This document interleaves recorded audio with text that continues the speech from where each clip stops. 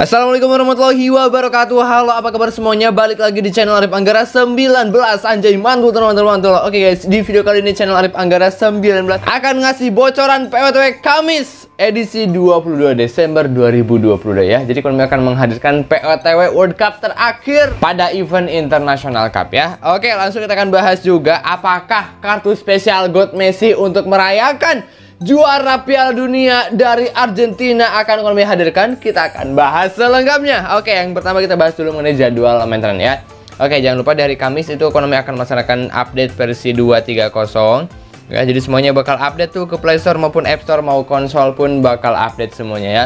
Untuk size update-nya belum ada konfirmasi, tapi yang jelas untuk waktu pemeliharaan rutin di hari Kamis itu seperti biasa bakal habis jam 8 UTC atau di jam 15.00 untuk waktu Indonesia bagian Barat khususnya. Kemudian juga untuk waktu Malaysia, Singapura, Brunei dan juga sekitarnya itu di jam 16.00 ya. Dan karena ada update versi 230 biasanya ekonomi itu uh, mengadakan maintenance tambahan ya oke okay? so jadi sabar aja guys ya mungkin paling lambat nambah satu jam kalau misalkan ada maintenance tambahan ya kan oke okay. kemudian juga nah ini adalah konfirmasi ekonomi bahwa mereka akan melaksanakan update versi 230 ya oke okay, yang awalnya ditunda pada 15 Desember itu ekonomi telah mengkonfirmasi lagi bahwa mereka akan melaksanakan pada tanggal 22 Desember ya oke okay?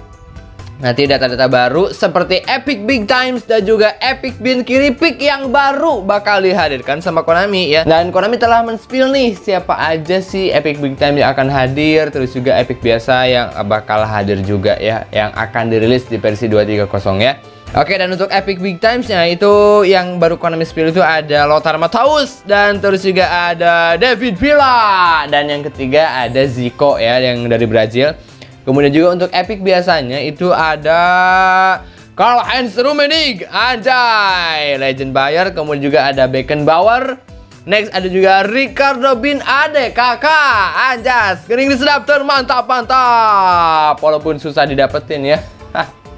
Ini dapetin Epic itu nggak semudah seperti Iconic Moment di PS21 kan. Oke, jadi kurang interesting gitu kan sama kartu-kartu ini. Oh ya, jangan lupa nanti kita bakal mendapatkan kesepakatan undian ya setelah kita update ke versi 230. Oke, satu. Nah, reward yang menjadi kesepakatan undian. Kemudian juga, nah, kita akan mendapatkan lagi kesepakatan undian tambahan, tapi bukan di epic, kita mendapatkannya di legendary.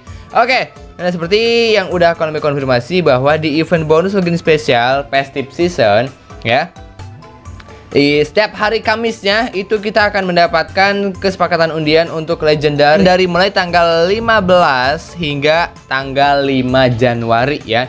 15 Desember hingga 5 Januari setiap hari Kamisnya di update-nya event-event setelah maintenance kita mendapatkan kesepakatan undian untuk legendary. Sepertinya untuk legendarinya pun bakal tetap sama legendary ada Del Piero, Lampard, Given dan juga Lizarazu ya. Karena kan untuk legendary yang ada di sini kita itu 100% bisa mendapatkan legendarinya, tidak acak atau dicampur dengan eh, pemain-pemain uh, standar player gitu kan. Jadinya Mungkin kalau misalkan kalian udah dapat Del Piero ya kan. Yang kedua, mungkin nanti di kesepakatan peluang gratis dapetin Lampard. Yang ketiga, kalian dapetinnya Liza Raju. Yang kesepakatan undian terakhir kalian dapatnya Given gitu kan. Menurut channel Arif Anggara 19 sih kayaknya kayak gitu ya. Konami menghadirkan kesepakatan undian 100% untuk legendary. Jadi nggak bakal ada legendary tambahan dari kesepakatan undian gratis itu ya. Oke dan jangan lupa nanti di hari Seninnya kita bisa mendapatkan 50 koin emas yang ngeri-ngeri pedas anjas kelas. Oke terus juga Nah jangan lupa di hari Kamis Konami akan mengupdate reward dari ajang turbin ngelantur Oke di mana kita bisa mendapatkan total 40.000 GP dan plus juga satu kali kesepakatan undian untuk POTW terakhir edisi 22 Desember 2022 ya. Nah untuk kalian yang masih bingung mencari tempat top up yang aman, murah, legal dan juga terpercaya dan anti cekal-cekal klub pastinya ya Kalian top up aja di Ditusi Gaming Store guys ya. Followersnya itu sudah mencapai 150 ribu followers.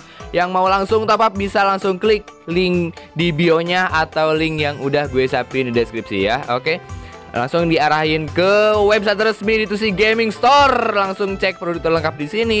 Kemudian kalian bisa top up secara 24 jam. Kalian bisa cari eFootball 2023. Selanjutnya kalian harus sisain transfer data tiga kali ya karena ini aman banget. Terus juga nah untuk langkah-langkahnya masukin username email Konami, terus juga masukin atau pilih nominal top up, selanjutnya masukin kode promo yang udah gue siapin juga biar dapetin potongan harga. Selanjutnya untuk pilih pembayaran bisa lewat bank, Dana, Shopee, Oppo, GoPay dan juga QR code. Top up aman, murah, legal dan juga terpercaya di mana lagi kalau bukan di D2C Gaming Store. Oke, kemudian juga, nah kita langsung bahas nih, kira-kira siapa aja sih yang potensial bisa masuk ke PHTW edisi 22 Desember 2022. Yang pertama ada Ahraf Dari dengan max sampai 93. Kalian bisa lihat dia cetak gol uh, lawan Maroko ya. Mungkin akan diambilnya tuh dari babak perebutan juara 3, babak final aja kayaknya. Karena yang kemarin pun udah nyampe semifinal guys, PWTW terakhir 15 Desember. Itu diambil pemainnya sampai ke babak semifinal guys. Sementara Nah, yang belum masukin POTW untuk edisi 22 Desember itu sisa dari uh, final aja guys. Perebutan juara 3 dan juga perebutan juara 1 ya. Oke, yang kedua ada Ivan Perisic dengan max sampai 96 di posisi left back. Next juga ada Orsic 93. Next juga ada Julian Alvarez bin Meseseres max sampai 96. Terus juga ada Emi Martinez bin Meseseres juga.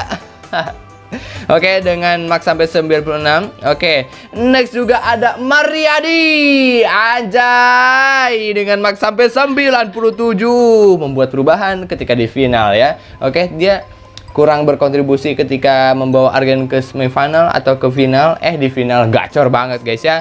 Sampai-sampai back kanan Prancis yaitu Onde Onde itu uh ketar ketir Oke, terus juga nah, yang selanjutnya ini adalah uh, sedikit potensial sih. Angka Messi bisa masuk PWTW guys ya. Apalagi dengan max sampai 100 kalau kalau misalkan Messi hadir beneran hadir itu maxnya itu nggak bakal nyampe 100 tapi bakal nyampe 99 bakal disamain dengan kartu standar playernya ya. Ini tidak menutup kemungkinan karena kita lihat Neymar juga brand ambassador Neymar juga dikeluarkan versi premiumnya. Tapi Konami tetap menghadirkan Neymar versi POTW International Cup ya. Oke, okay? dan max rating si Neymar di POTW International Cup itu sama seperti max rating standar playernya.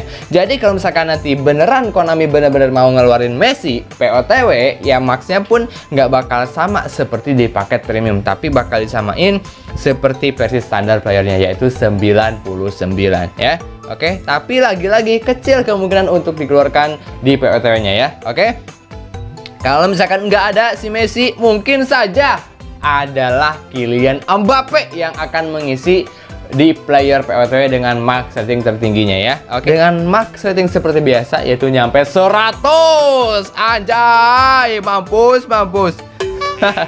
Oke, okay, tenang anak muda. Mbappe masih ada kesempatan untuk 2026 untuk World Cup ya. Oke, okay, sementara Messi ya udahlah harusnya pensiun ya kan Oke okay, terus juga ada Camavinga 95 next juga ada Konate 95 dan yang terakhir ada Kolomoni 95 ya Oke dan nah selanjutnya yang terakhir kita akan bahas nih Nah dengan adanya update versi 230 ya Oke, apalagi Argentinanya juara, terus juga spesial untuk Messi, Messi-nya brand ambassador, Apakah The Gold Card itu akan bisa dihadirkan sama Konami? Ya bisa aja guys ya. Semoga saja di versi 230 Konami cepat menghadirkan kartu baru yang namanya The Gold Card yang sama kayaknya seperti Iconic Moment. Karena yang udah gue terima konsep kartunya udah ada tinggal perilisannya saja yang Konami harus laksanakan gitu kan. Konsep-konsepnya udah gue terima informasinya tapi yang belum Konami laksanakan itu perilisan untuk kartunya ya.